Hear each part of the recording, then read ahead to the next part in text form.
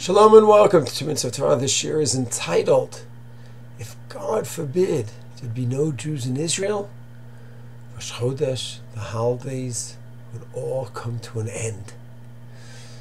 The Rambam writes in Sefer Mitzvah, Mitzvas Aseh positive mitzvah, Kuf Nun Gimel. He writes that if by the mitzvah of Kiddush Chodesh, this parsha we just read, Parshas Bo, you need to have the Beit Din in Israel, or need to have some smicha from Israel, at least have some Jewish presence in Israel. And if not, the Kiddush HaChodesh system, sanctifying the new moon, is done.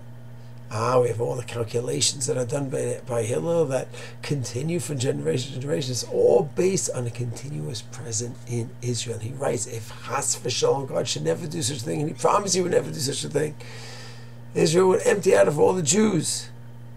Chas v'shalom. The whole Kiddush Chodesh system is over, and then there's no months, no holidays. We're done.